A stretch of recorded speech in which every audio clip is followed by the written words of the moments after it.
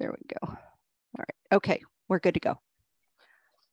Okay, take two. Well, I will back up 10 seconds and we'll start fresh. Um, hello, everyone. Uh, welcome to our discussion today between Greenphire and Fenway Health. Um, I'm going to just get started here with a few quick housekeeping items uh, before we dive into the, uh, the background and the introductions. Uh, next slide, please. First and foremost, we will be recording this webinar today, and everyone's going to get a link to the recording immediately following the event. Uh, number two, please feel free to submit questions at any time today during the discussion. Towards the end of the presentation today, our presenters will try to get through as many questions as they can during the uh, Q&A session. So uh, please feel free to fire questions in through the chat at any time. And finally, uh, please connect with us. We'd love to hear from you and, and, network a little bit. So please take advantage of LinkedIn or anything else and, uh, and reach out and try to connect. Um, next slide, please.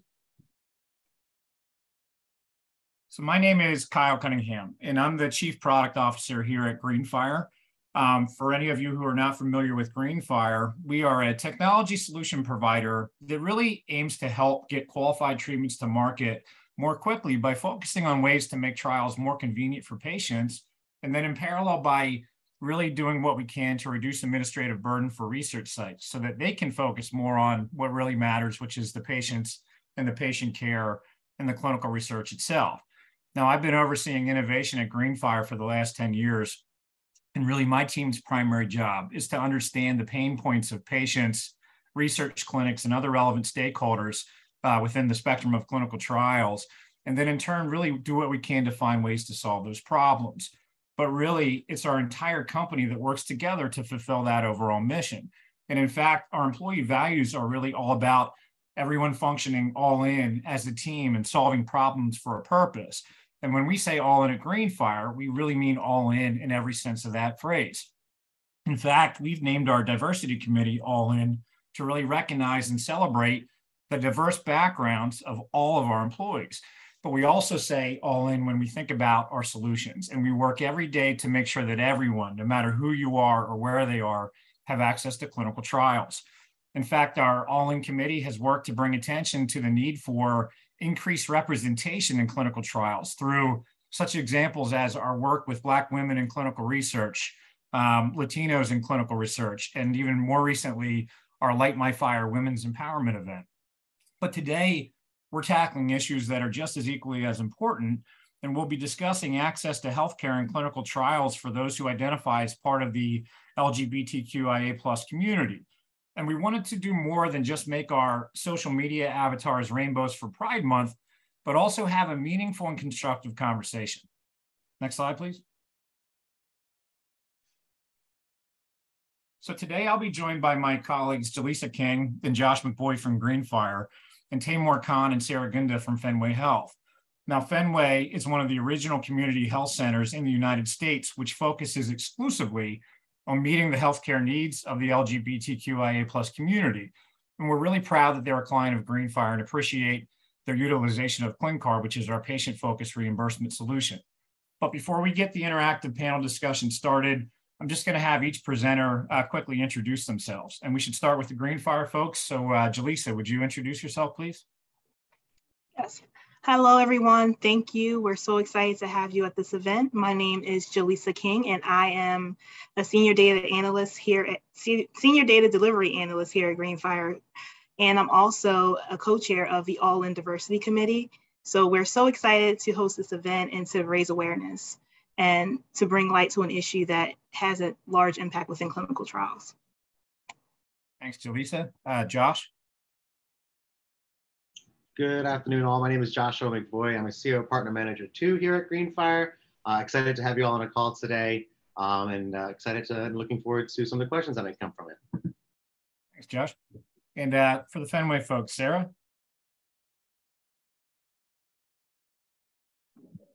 Hi, everyone. I'm Sarah Gunda. I am the receptionist and staff assistant at the Fenway Institute. Um, and so I am mainly in charge of doing all the ClinCard consultations and everything like that. I'm just so excited to be here to share my experience.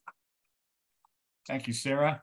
And uh, Taimur, before I ask you to introduce yourself, I'll just again uh, echo an earlier comment. Um, for the audience, please, I encourage you to chat in your questions at any time for the presenters. Uh, we'll try to get to them uh, towards the end of the presentation and discussion today. And just again, thank you so much for being here. And uh, I'm excited to be part of it and I'm looking really forward to the uh, discussion. Taimur, over to you. Thanks, Kyle. Hi, my name is Taimur Khan. I use he series pronouns and I'm uh, currently the Associate Medical Research Director for the Fenway Institute. But at Fenway, the organization, I also am a provider, a primary care doctor, as well as an infectious disease specialist. Um, before we get to the next slide, just a little background on myself. I born and raised in Boston. Um, parents are from Pakistan, and I went off to med school in New Orleans at Tulane, got my master's in public health and my MD degree, did residency and achieved here in internal medicine in Ohio, and then I was back in Boston for an infectious disease fellowship, which was from what, 2017 to 2019. And I joined Fenway in 2019. So next slide, please. so I included this uh, giant infograph that includes some very basic information about Fenway Health.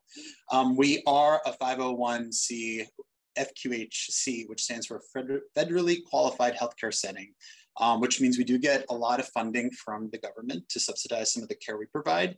And just to, a little correction for Kyle, we're not exclusively LGBTQIA+, we do also provide care to anyone else that has Mass Health or Obamacare that requires healthcare that couldn't get it anywhere that only takes private insurance. So we will see everyone, but yes, correct. Uh, historically, we were one of the first centers that kind of focused their research and work on the LGBTQIA plus community. And just so we have all our letter soup, alphabet soup kind of on the same page, that acronym of the shorthand stands for lesbian, gay, bisexual, transgender, queer, intersex, asexual, and then plus, because some of the language keeps changing. We wanted to be inclusive rather than exclusive when having that label set up. And our mission is, as stated on the slide, to enhance the well-being of that community, as well as the people in our neighborhoods through access to the best healthcare possible, possible education, research, and advocacy. Now you see four squares there in the center. Those are kind of like the branches of Fenway Health. They are like some of our biggest um, departments and groups. So you've got Fenway Health, which is medical. That includes the pharmacy, optometry, that includes dental, that includes mental health and behavioral um, departments as well. The Fenway Institute came about by Ken Mayer um, and some, a couple of his colleagues back in the early 80s when there was a need to do advocacy work and research specifically around HIV. Um, Ken was one of the first people in uh, New England, was the first person in New England to diagnose the first case of HIV then. And there was a lot of stigma and a lot of fear around working up those patients, especially in the outcare, outpatient setting. And so he really was an advocate for collecting specimens. And the more data we collected, the more we learned there was a need for also having an IRB, an internal review board, for all the data and stuff we were collecting to keep patients safe and participants safe.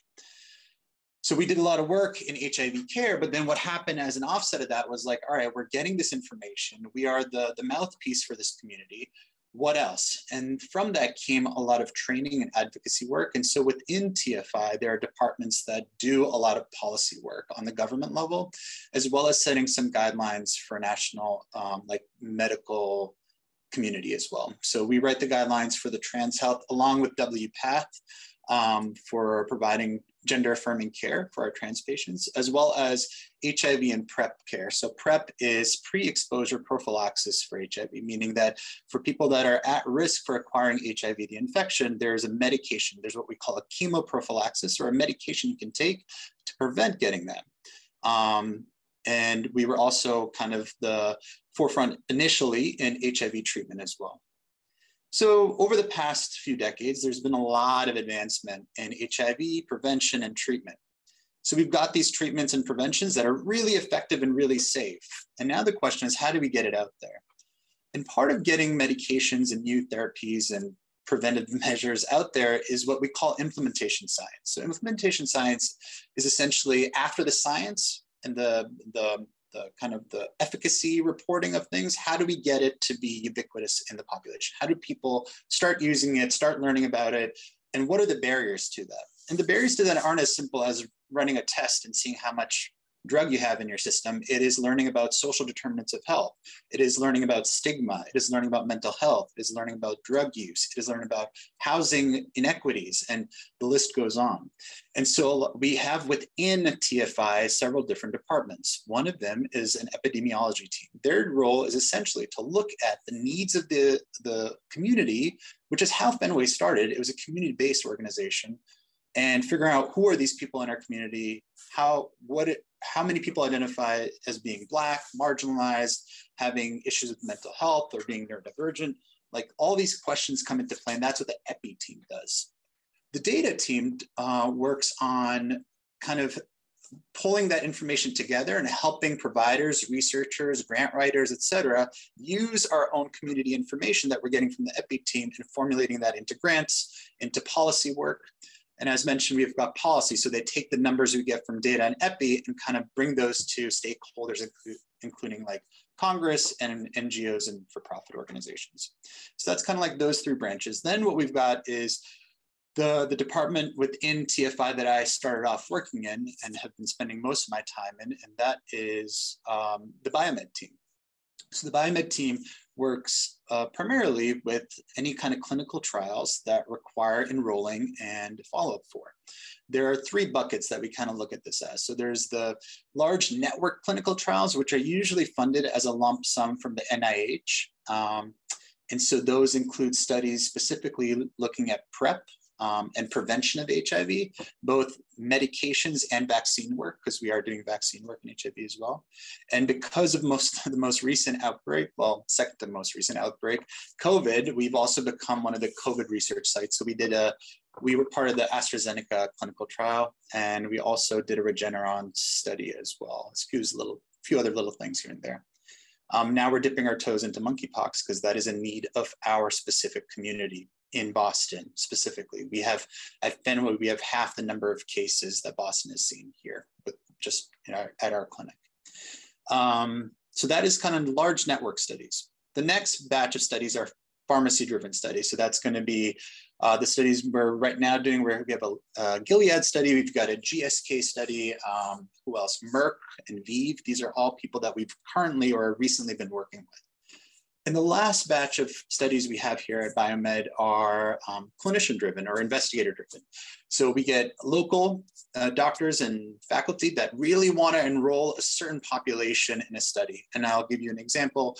We've got a young gentleman, Peter Kai. He's a doctor at MGH. He does emergency medicine. And he also has one foot in the door with MIT, creating some new technologies. And one of those called the, the digital pill, a digipill. Essentially, it's an RF transponder attached to a tablet so that when someone ingests the pill, they can kind of see when they had it.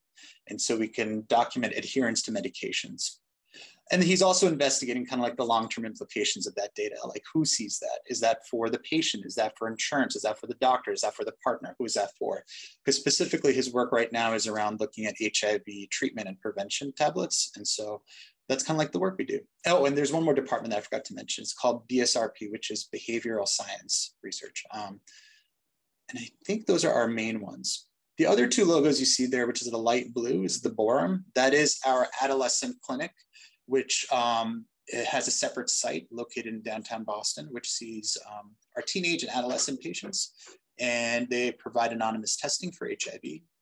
And the last one is AIDS Action, and that came about through uh, initially, it was a, a, branch of Fenway Health, then became its own entity. Now it's become part of Fenway Health again, but essentially they do a lot of outreach advocacy work for people living with HIV. Boom, boom, boom, boom. The last thing that I forgot to mention is the Ed Center. So we are Fenway Health. We are unique. We have this ability to take all these things, which include trans health, HIV prevention, advocacy work, data, EPI, EMR creation, etc.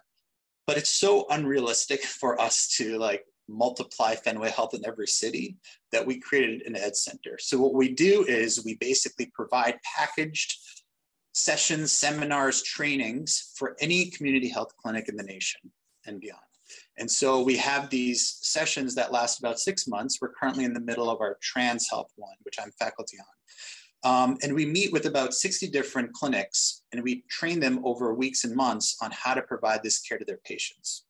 So we are really proactive about getting our wealth of knowledge out there. We do not have a monopoly on it. We try not to. Well, we are we are amazingly lucky that things worked out the way they did. So we have this wealth of knowledge and experience. We try to disseminate that to the best of our ability. Um, in the past, I've also been part of a prep echoes. We call them echoes because we kind of repeat the same messaging in different ways over and over again. And a lot of these community clinics can also bring very specific patient cases to us as an expert panel to help them solve them. So uh, Trans Health, Trans Echo, there's a PrEP Echo. We had one during COVID about telemedicine and providing care to patients in the middle of the pandemic.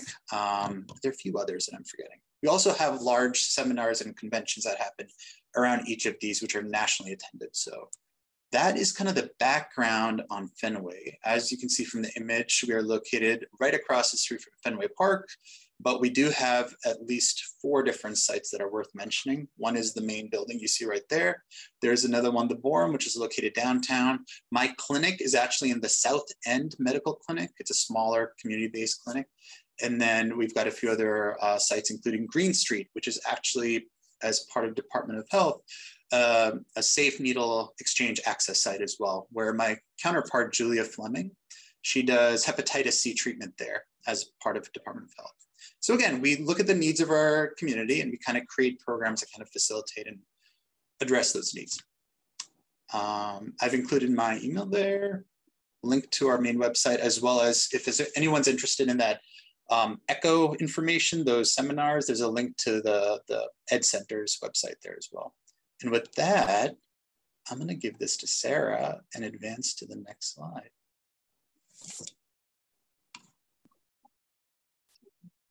Hi, everyone. Um, so yeah, we use ClinCard across all our studies, all our teams, all our locations. And because of the usability of the, the program, I could do that from 1340 Boylston, which is huge. Um, it's been just a pleasure using it and working with your customer service team. It's just been very easy um, as far as billing, as far as uploading new compensation for folks. Um, and that really provides a big difference for the participant, just being able to upload their compensation so they can leave with a loaded card and not have to wait, not have to have access to a bank account, not have to have access to a computer or phone. Like we can do that for them within minutes, send them home with a card that they can even get cash out. That makes like a huge like variety of barriers just disappear. And it's definitely a great incentive for our wide range of participants with various um, backgrounds and day to day. And because of that, I, I feel like once they're incentivized by these, you know, kind of barrier free compensations, they, once they're in our, our building, they have access to all these other, um, uh, all this other, all these other services. So they're not only promoting our clinical research, um, but they have access to healthcare and social services that might have been overwhelming to try to find resources for otherwise. So I just wanted to say thank you to everyone here for helping with, with that. That's all. Turning over to you guys. Thanks, Sarah. Thanks, Samir. Um, just kind of going off of what you just described and, and both of what you uh, said with the use of ClinCard, but the day-to-day functions of Fenway Health and whatnot. You know, you have a lot of different um, groups that you have to deal with. You know, socioeconomic, yeah, different backgrounds, different stigmas to deal with.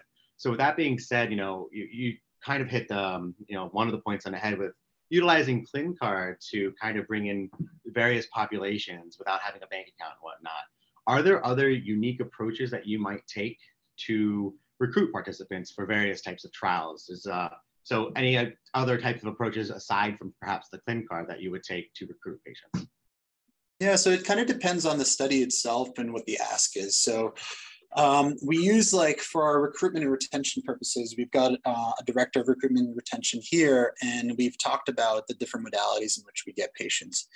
Um, our our uniqueness in our clinic and kind of the, our EMR has been to internally recruit first because we have like screening ability. So when a patient comes in, so this is there's buckets, right? So for Fenway Medical, um, when a patient comes in, they fill out a, a survey online. The survey asks questions like um, uh, economic insecurities, housing insecurity, food insecurity, domestic violence, depression, anxiety. And there's one question which says, Are you okay with the Fenway research reaching out to you for possible studies you may be eligible for? And if they say yes, we're allowed to pull a report based off not going into their chart and looking at all the notes, but looking at just their demographics, who they are, how they identify, and what their problem list is. And that's it. We can't look at any, we're not allowed to look at anything else without like a medical like disclosure letter, um, LOR, release of information. Um, so uh, having said that, we get reports sometimes and we will internally also recruit. The other modalities we use are all passive and what I call active recruitment, which is targeted to certain people. Passive recruitment includes using things like Grindr, Scruff, dating profiles, bus advertisement, news advertisement, Boston Globe advertisement, et cetera, the list goes on. Um, and those are more targeted things that we do depending on what the study asks for. Um, so those are kind of like our different ways. And we also have uh, people go out into the community, go to like groups and associations, pride events, marches, you name it. They will find they will find a desk and put stuff on and get people to sign up. Uh, so that's like the few ways in which we recruit. We've also done research in the ways we've used social media, specifically hookup sites, and how that's helped us, and like a referral method where if one person comes from Grindr or another site where they're not actually a patient at Fenway, they're able to be incentivized to find other people to come into study work. So um, that has been stuff we've used in the past, mostly for behavioral stuff, not for like uh, investigative product stuff. Is there any outreach? Because I know Boston's a huge college city. I mean, there's about 50 at least yeah. within you know city center. Any outreach to the local universities for patient recruitment? Because I know, I mean, a lot of these, you know, the dating apps you're talking about are LGBTQIA plus yeah. focused, whereas like you said, you're a community health center, so it goes beyond the LGBTQIA. Totally and I didn't mention this, but Fenway Clinic Healthcare uh, Community Center was actually a Northeastern clinic. It was a college student clinic, student run clinic before it became Fenway Health and then broke off. And now it's actually affiliated with Harvard Medical School peripherally and with Beth Israel Deaconess Medical Hospital peripherally. Um, so the history is ingrained like college has been ingrained in our history. However you know like i said it kind of depends on the study. The most recent example i can draw is we had a college covid study which was i want to say this must have been spring of 21 so we had just had vaccine rollout at that point and they were looking for people that did not qualify for the vaccine yet. Now everyone gets it. But people that did not qualify, we were looking for young adolescents to receive it or delay getting it, um, and then swabbing people to see what the prevention was in transmissibility of COVID. Once it became readily available, it was unethical for us to tell people to hold off, so we couldn't do that study anymore. And kind of like the PI took that back and we revisited. But um, so yes, we have done outreach where we picketed as much as we could and gone to college campuses, but COVID has made that interesting too, because a lot of our college students were also remote or not here in person. So since I've been in this role, I haven't had a good opportunity to use the college student body and like that access, but we've done it before. Um, community outreach has like a running template of organizations, including like some of the LGBTQI centered uh, sports groups like Stonewall Sports, Pride Sports, as well as the bars, clubs, and um, the college campuses. So this information is centralized now, but uh, and we have used it historically, but it kind of depends on who we're trying to target. Perfect, thank you. Yeah. That's awesome. So we were just previously talking about ClinCard and like how easy it is to use. Sarah or, or Dr. Taimur, if you have any input, um, would you guys be able to talk about how technology has played a, a role in reducing the overall workload within the clinical research operations there at Fenway? Sarah, do you want to chime in and then I can kind of flush this one out? Yeah, absolutely. So previously we've had, um, you know, other forms of payment method like Amazon gift cards or checks. Um, and that really did raise a lot of barriers, right? Like uh, as far as checks go, folks need to take that somewhere else. Um, gift cards, they will need a computer to even access that, or like it's just not a type of compensation that's interesting to them, um, or something that they can use. Um, so just the fact that the ClinCard um, that you offer can be set up so quickly and can be used for cash um, is really, really huge. And the use of like the fact that I can, or Fenway can centralize that to one location despite our four locations and, you know, and plus, you know, remote appointments and everything like that. But I could easily do those compensations and help participants despite being miles away is incredibly helpful and time saving um, to us and our participants. Thanks, Sarah. It's I can't emphasize what Sarah said enough. Like streamlining anything in the research world, please sign us up because the amount of uh, tedious work and administrative work and QCing and queuing and double checking and it's already enough as it is. So it's I'm going to go on a soapbox for a little bit, which is to say that you know during COVID there was all this conversation about warp speed and uh, the research being too fast. Um, and yes, for someone who doesn't understand like the progress the stepwise way in which research happens, I can see, understand that completely. However, no shortcuts were really made. What happened during warp speed was like people overlapped steps, where as opposed to, you know, you would start animal studies and then do phase one, phase two, phase three, FDA approval and then produce. They just kind of scrunched the layers up and had them overlap ever so slightly. So it's not that the layers themselves were shortened or the steps were shortened. It was just that while animal studies were happening, they were starting up a couple other steps. And then so there was a little bit of overlap as they went through. But at the end of it, the end of the FDA emergency use authorization, a lot of the safety things, all the safety things were done at one point just to emphasize the fact that there's so much in research that happens that anything that makes our life easier, please sign us up. Um, you know, we do research on technology as well. So we've got a study here looking at prep at home, which is essentially trying to cut back the middleman, which is the doctor visit. And how do we make that shorter and more streamlined? So the way it's a study we're doing with Emory, looking at telehealth basically, if you've seen these advertisements online, like Keeps or Hims, trying to obtain one drug for one reason type of deal, um, that is safe and efficacious. So uh, for PrEP, we try to send uh, like a point of care testing kit to people's homes and they self swab and self prick their finger and send it back. And the, we call them as a doctor visit, which lasts like five minutes and they get their refill. And that's it. It does not require driving to a doctor's office, having uncomfortable conversations around sex and sexual practices, waiting for your results anxiously, having a conversation about those, and then waiting for your refill. It is the goal is ultimately the goal is for technology to kind of streamline things so that as science advances, we can kind of move things more efficiently along the way. Since I've graduated med school, which was not that long ago, there's already been so much change.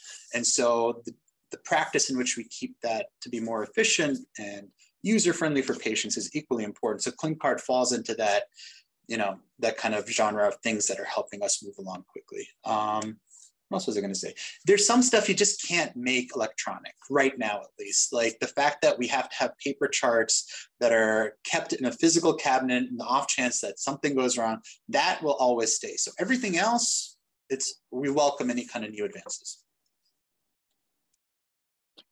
couple of questions in the in the question box here. Do the sponsor companies that you work with talk about the need for diversity? 100%, which is why we get studies here specifically. Um, that's um, research is only as applicable as the participants you have in the study. So if I did a study looking at just white, cis, gay men who have sex with other men for an HIV prevention, I, as a practitioner, medicine practitioner, can't take that data and be like, oh, yes, this Black trans woman who has transactional sex for work, uh, I can give her the same medication. I just can't do that. It's unethical for me to take that information and apply it to other people. And so when you're looking at the data, especially around HIV prevention, a lot of the numbers of increased incidents are looking at Black uh, trans persons and black men who have sex with men in the South specifically, right? So how do I use a study like I, um, the initial prep studies and kind of translate that to that entire demographic, right? I can't. It's not. It's not feasible. So it's important for diversity to exist. And it's also in the incentive for a pharmaceutical company to be able to make the data as applicable to as many people as possible. So right now, actually the one study we're doing with Gilead, it's a series of what they're calling the purpose studies. Um, uh, we're in the first, we're one of the first studies, um, we're enrolled as one of the first studies uh, for this one drug called lenacapavir, which is essentially a subcutaneous or just underneath the skin injection of an antiviral that looks at PrEP every six months. So like instead of taking a pill every day, you just get this little injection right underneath the skin and takes care of that. Um, and so for us specifically, it is a phase two study looking at our trans population and how it um, affects their hormonal uh, hormone uh, gender affirming care, basically, uh, hormone replacement therapy. So, you know, a lot of these patients use uh, estrogen, testosterone, which is injected into the submucosa. And for preventive drug, for something to prevent some other disease, you don't want it to affect the thing they're using for treatment right now, right? Because the treatment takes precedent over prevention.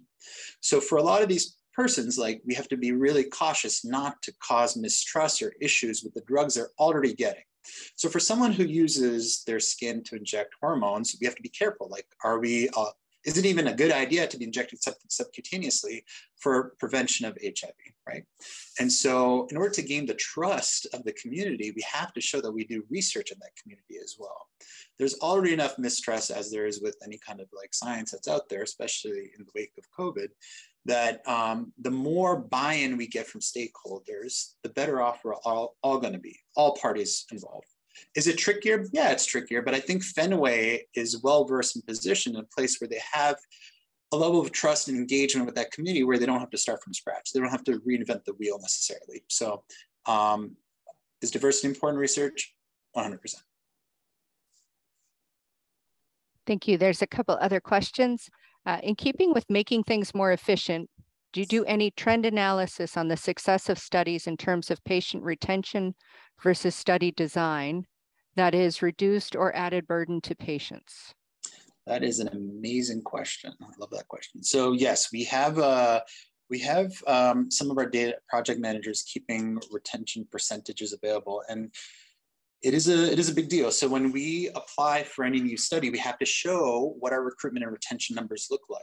So if a pharmaceutical company or a grant is going to put us under the ringer and give us all this onboarding and training, they want to know that they're getting the biggest bang for their buck as well. So part of that is showing retention numbers, and we do have that data. We don't necessarily trend it out amongst all the studies because every study is a little different in terms of its size and scope. So it's hard to kind of generalize those trends. Um, but overall, we look to see a large retention percentage. You know, uh, without stigmatizing any specific group in general, there are certain groups that are harder to retain than others. And I think about persons living with any kind of mental health disorders who are poorly managed and controlled, having poor retention compared to some other studies where we're looking for healthier patients, i.e. our phase one studies. So it's hard to kind of generalize those numbers across the board. Um, but we do use that information as like a PR pitch to come do research with us because we're a scrappy little community center that has a long history in this kind of work. Um, what was the second part of that question? I missed the second part. Successive studies in terms of patient retention versus study design, reduced or added burden to patients. Oh, the, the, the, the part about the burden to patients. So um, I'm not sure how those two connect, but I will say that given the fact that we've got this special patient population and connection to the community. The one thing we are very careful about that we're trying to address more now than ever is not having co-enrollments in multiple studies, not overburdening our patients with all these messages about research. It's important to be effective and not to like turn people off from the work that we do, rather to keep them engaged fully. I'm not sure if I uh, answered the second part of that question, well, so if you could rephrase that, whoever submitted that, feel free. Before we jump back to the panel, Taimur, there's uh, a question here. Is there greater reluctance in the LGBTQIA plus community to join a clinical trial?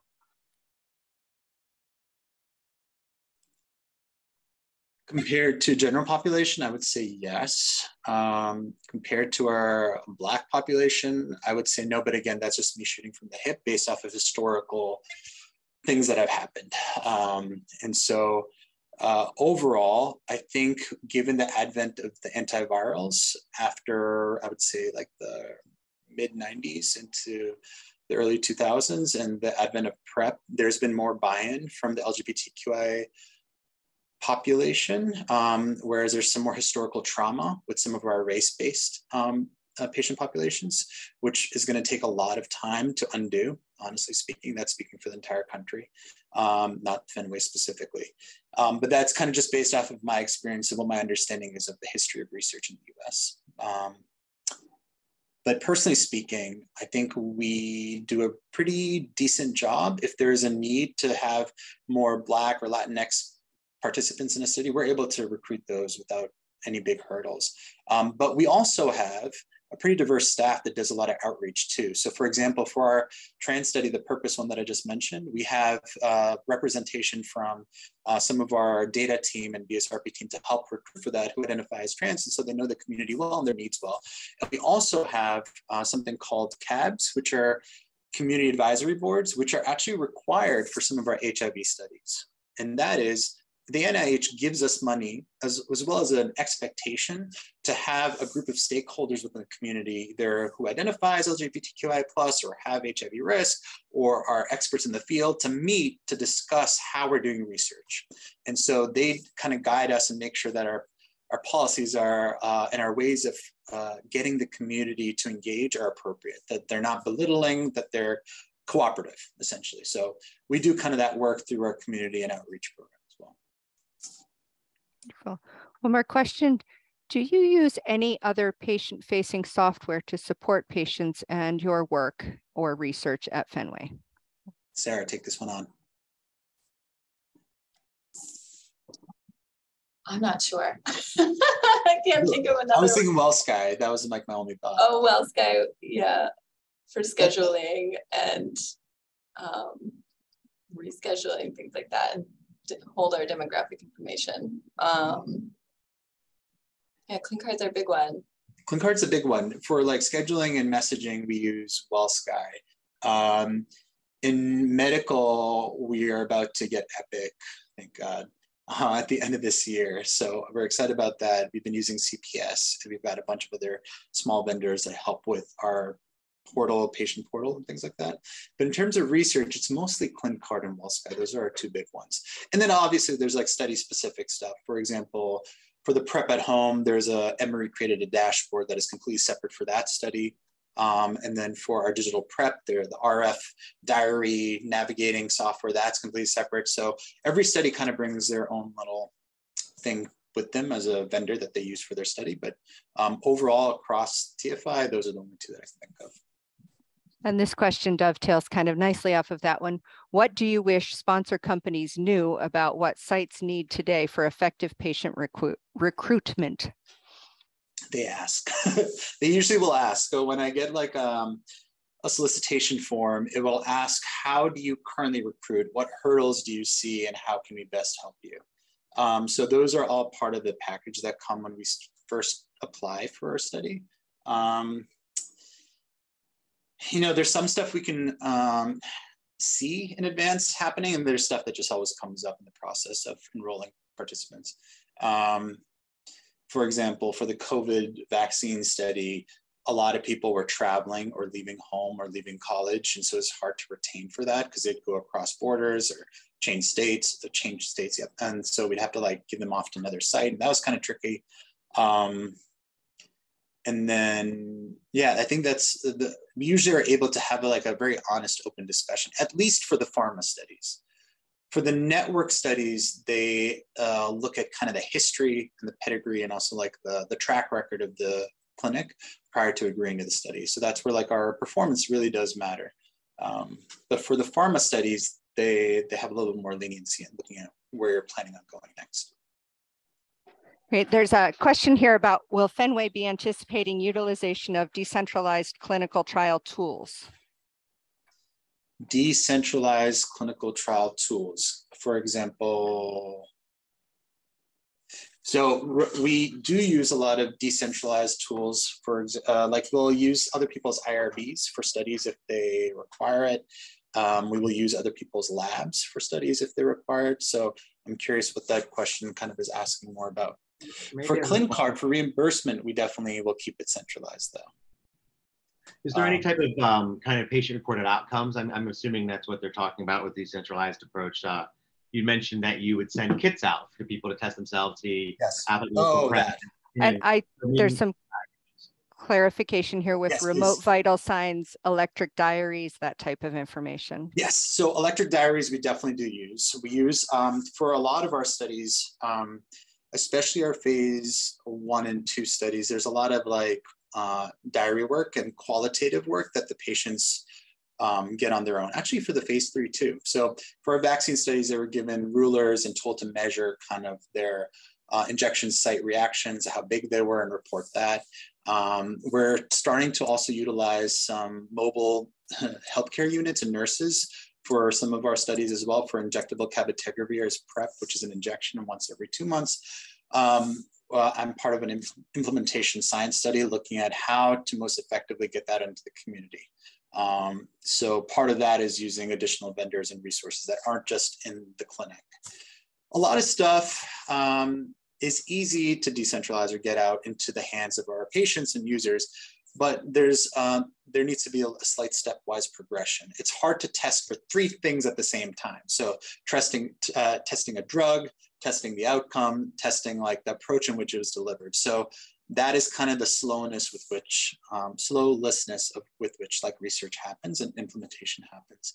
Um, but uh, Fauci recently spoke about this too, and he was saying like implementation science is not just the touchy feely part of medicine. It is equally important now as to doing something at a bench with an animal study. Like learning how people use drugs and prevention methods is just as important as doing a clinical trial to see if it even works. Because at the end of the day, the science is only as good as the people using it. And so if we just say and publish all this new information, if we don't know how people will best utilize that, we're doing a disservice to the, the community.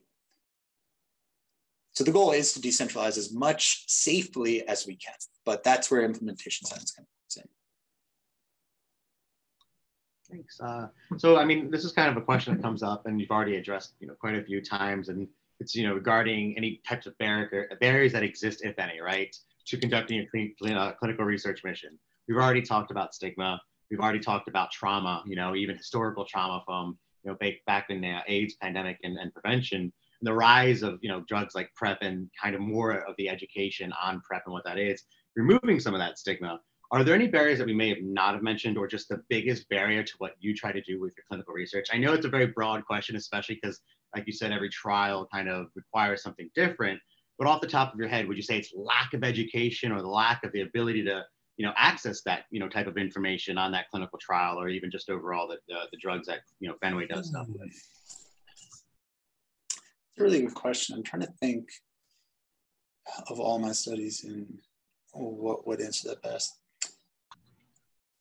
You know, people, they're only going to hear about these studies if it's the way we get the information out about the studies, I feel like is the like the biggest barrier. We are, I mean, we don't have like a huge budget. We're not private, we're not for profit. And so we make do with what we have. And part of that is limits how much recruitment effort we're able to put out there. So, you know, we do we do not claim to have every trans patient in Boston. We just don't, right? So the we are limited in our scope by our size and our funding that has how we get that information out there. Um, I would say we're really careful about how we use language in our recruitment, like really careful. We push back to pharmaceuticals and network studies all the time with their wording, like if they use pronouns or use wordage that is against our mission statement and our work. So I don't feel like the barrier is the way we put ourselves out there all the time. And we do get a lot of feedback from stakeholders. And we try to keep language simple and accessible to anyone with any kind of educational level.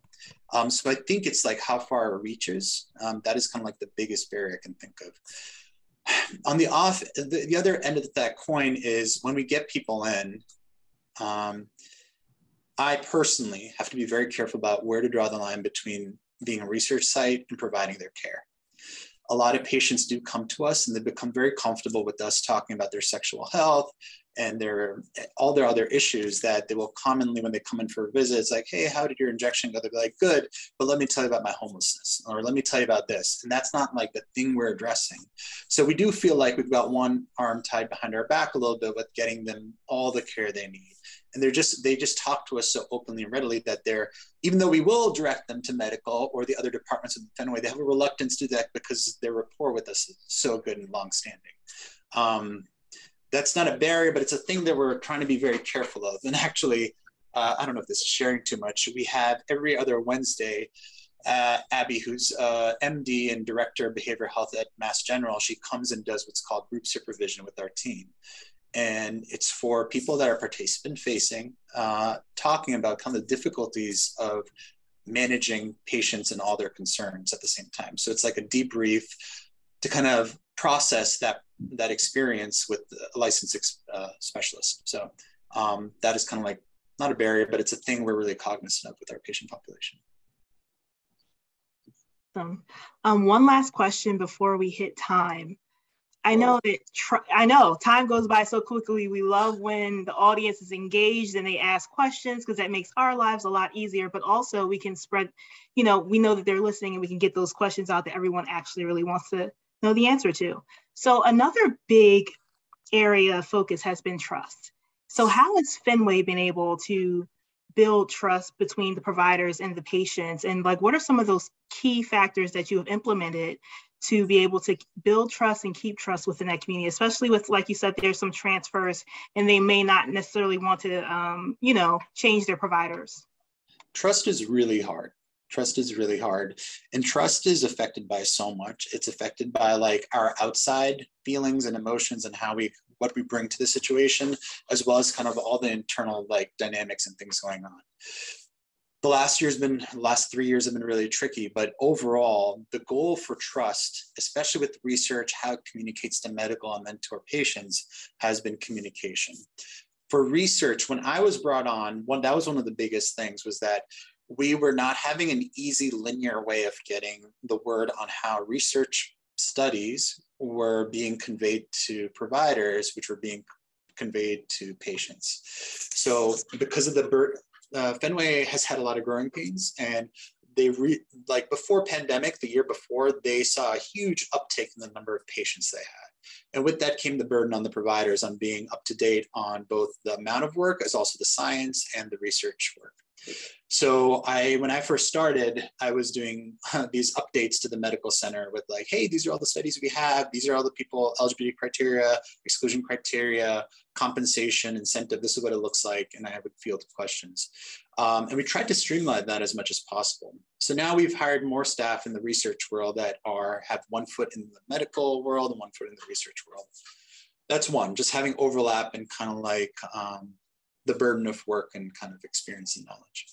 Number two has been uh, figuring out streamlined ways to get the patient directly, the information directly to patients. So there was that survey that I mentioned. Instead of our, our previous way of being able to contact a patient was a research coordinator would have to message the PCP if it was okay for them to call the patient if they had a good enough rapport with the patient. It was kind of like consent by proxy through the PCP. That was what our standard operating procedure was. And that time for our primary care provider to think about a patient, be like, oh yeah, they're good, email us back, and then for us to reach out was was a lot of work. So now we go straight to the patient. Um, it's been using the appropriate language with our patients. So it's easy to get turned off by seeing a flyer for PrEP and seeing just a white gay man on it and being like, all right, that doesn't apply. So being really particular about the way we use communications and flyers and advertisements to kind of gain trust in our patient population, participant population. So it requires a lot of work. And the way we actually, the way we learned about the flyer reading wrong for one of our studies was because our CAB, our community advisory board called us out on it. They said this flyer is not inclusive enough. We get turned off when we see this. Or on the flip side, there was a bunch of flyers with just black gay men on it. And they're like, why am I different? Show a diversity of people on it. Why are you just targeting me? That was advice that we got from our CAB about the way we would advertise them. So it's easy for us as scientists, administrators to get bogged down in like the let's get this thing going and get the ball rolling without actually getting buy-in or kind of advice and feedback from our community. So that's kind of like the way we build trust is like getting as many voices in the room as possible. Awesome. Um, thank you so much, Dr. Taimur Taimur and Sarah for your time today and speaking with us. We really enjoyed this engaging conversation today. um, please feel free to reach out and continue the conversation. Um, we have Dr. Taimur's information here as far and along with um, Fenway's website, so you can read more about their mission on their website. Uh, please feel free to check out some of our Greenphire thought leadership initiatives. Um, please um, check out some of our blogs that we've wrote, some of our interviews with Black women clinical research, Latinos in clinical research, like my Fire Women's Empowerment event. And then we're so excited to be able to add this to our list as well. Um, and we're, we will be at um, DIA. We'll have a session on advancing diversity and equity and inclusion across the life sciences R&D meeting. And that is October the 6th. So please feel free to register for that. And if you're interested more in our solutions, just um, we have solutions that help remove barriers um, from patients. ClinCard is a patient reimbursement and stipend solution. We have an integration with Lyft, which is the leading rideshare um, platform and connects our, lead, our leading global patient concierge service for clinical trial travel globally. We thank you so much for your time today, and it has been a pleasure to speak with you all. And please reach out and connect, follow us on LinkedIn, and we'll look forward to speaking with you again soon. Thanks, everyone. Thank you. Well,